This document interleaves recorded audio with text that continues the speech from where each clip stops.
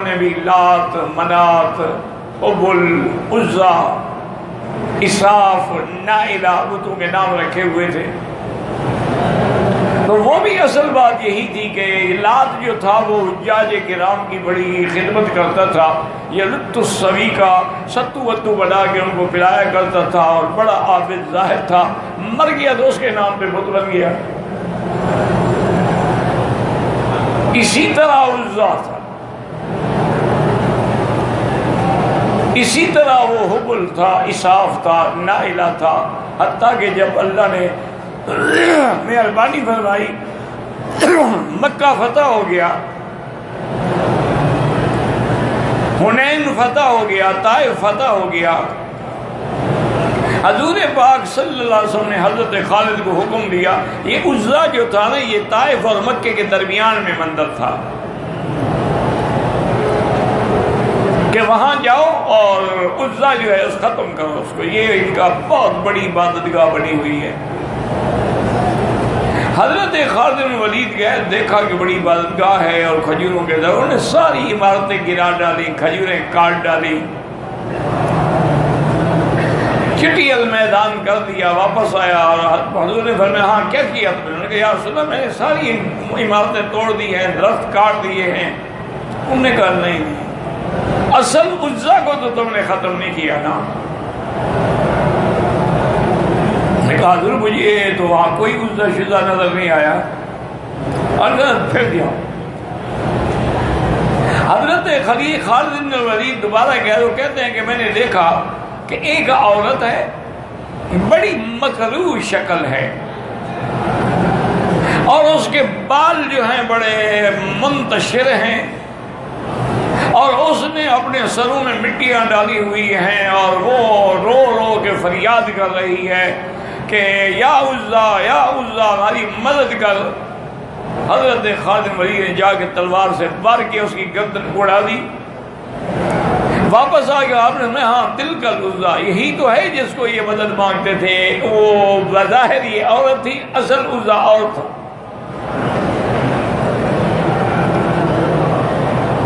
और उनको, उनकी मदद पे इतना यकीन था कि जंग ओहद के मौके पर जब आका इनामदार सल्लल्लाहु अलैहि वसल्लम और सहाबा को शिकस्त हो गई, सत्तर सहाबा शहीद हो गए, रहमत दो जहाँ जख्मी हो गए तो अबू सुफियान उस दौर में काफिर था और वो काफिरों की फौज का सरदार बन के आया था लड़ाई के लिए। तो उसने बड़े ज़ोर से नारा लगाया। पहले तो उसने पूछा हल्फी कुम मोहम्मद भाई, हजूर मोहम्मद मुस्तफ़ा हैं। हजूर जवाब न दो। फिर पूछा हल्फी कुम मोहम्मद हजूर ने फरमाया, जवाब न दो। उसने फिर तीसरे दफ़ा पुकारा हल्फी कुम मोहम्मद कि तुम में मोहम्मद मुस्तफ़ा हैं? साहब, हजूर ने फरमाया, कोई जवाब न अब अबू सुफियान खुश हो गया, अभी हजूर भी शहीद हो गए। तो उसने बड़े ज़ोर से नारा लगाया ओलो हुबल, आज हुबल तो। ने हमारी मदद की और तेरे पुजारी कामयाब हो गए। हजूर बाग ने सही देना उमर रबी अल्लाह को इशारा फरमाया क्योंकि हज़रत उमर जो थे ना, काना जहीर सौत आपकी आवाज़ बहुत बुलंद थी। उसने जब दोबारा कहा ओलो हुबल तो हज़रत उमर ने जवाब दी अल्लाह अजल।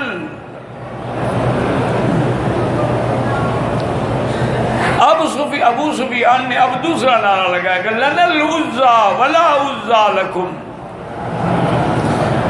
आज उज्जा की मदद हमारे, उज्जा की मदद हमारे साथ है, तुम्हारे साथ नहीं है।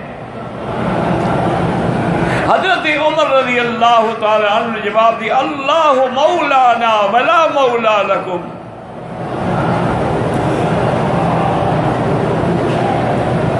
तो मक्के वालों का भी यही हाल था। उन्होंने भी वो अशखास जो सालहीन फौत हो गए, उनकी शक्लें बनाई हुई थी। अच्छा बाल तो ऐसे भी थे, अल्लाह रहमत करे कि इसाफ और नाइला जो है एक मर्द था, इसाफ और नाइला औरत थी। नऊज बिल्ला सुम्मा नऊज बिल्ला उन्होंने काबतुल्लाह के अंदर दाखिल होकर जिना किया। अंजाम ये हुआ कि अल्लाह ने उनको पत्थर बना दिया और दोनों पत्थर बन गए। इबरत के लिए उनको काबतुल्लाह के दरवाजे के साथ रखा गया। फिर मकाम इब्राहिम की जगह रखा गया। इबरत के लिए कि देखो इनने गुनाह किया, अल्लाह के हरम की तोहीन की है। काबतुल्लाह की अजमत से खेले हैं, दिन में कैसे अजाब आया है कि लोग डरे। फिर उन्होंने एक को सफ़ा पे रख दिया और एक को मरवा पे रख दिया। कुछ अरसा गुजरा तो उनके बाद वाली नस्ल जो थी, उन्होंने उनकी भी पूजा शुरू कर दी थी, ये भी खुदा है।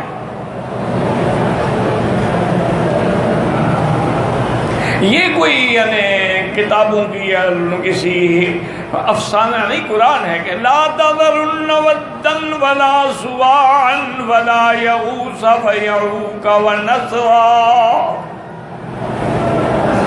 हज़रत नू सलाम ने जब उनको दावत दी कि खुदा के बंदो, अल्लाह की इबादत करो ने कहा, खबरदार नू सलाम की बातों में ना आना। तुम वद सुआ यगूसा यऊ का नसरा को बिल्कुल न छेड़ना। अपने अकीदे पे कायम रहना। हज़रत नू सलाम ने तकरीबन साढ़े नौ सौ साल तक दावत दी। अल्फसनतन इल्ला खमसीन आमन।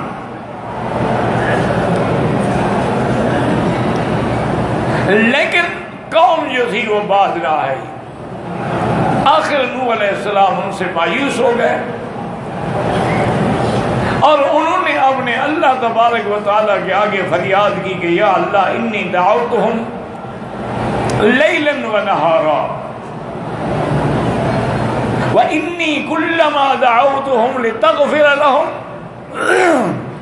जालू वसाबियहुम फ़ी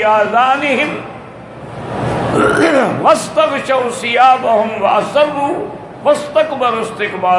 जब मैं इनको तोहीद की दावत दे तो मेरा आका ये कानों में उंगलियाँ ठोंस लेते हैं कि आवाज़ ही ना आए और सर पे कपड़ा डाल लेते हैं।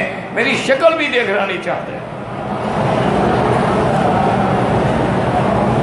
सुम्मा इन्नी दाऊ तो हम जिहारन सुम्मा इन्नी आलन तो लहम इसरारा। लेकिन अब मुझे कोई तो बाकी नहीं रही। इसलिए मेरा मौला, मैं दुआ करता हूँ कि रब काफिरीन तैयारा अब इन काफिरों की, मुशरकों की, वसनियों की एक घर भी बाकी न रहे, इन पर अपना अजाब नाजिल फरवा इन का इंतजर हम युजिल्लू इबादत। अगर आपने इनको ज़िंदा छोड़ा तो ये तेरे बंधु को गुमराह करते रहेंगे। वला इल्ला फाजिरन कफारा और आगे जो इनकी नस्लें पैदा होंगी, वो भी काफिर होंगे, फाजिर होंगे, वो भी इन्हीं के अकीदे पे होंगे।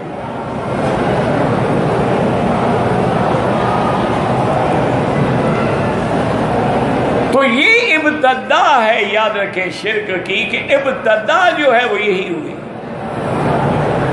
हत्या के हजूर पाक सल्लल्लाहु अलैहि वसल्लम ने फरमाया कि अल्लाह ताला उन लोगों पे लानत करे जिन्होंने